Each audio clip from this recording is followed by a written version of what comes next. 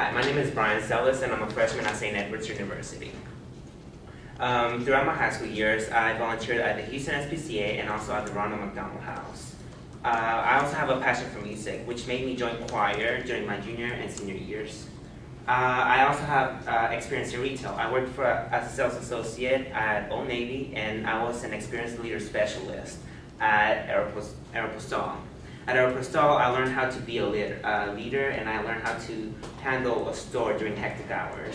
I hope to take these qualities that I've acquired and all of the knowledge and hopefully become a marketing major later on after I graduate from college. If you have any questions, feel free to contact me, and here's my business card.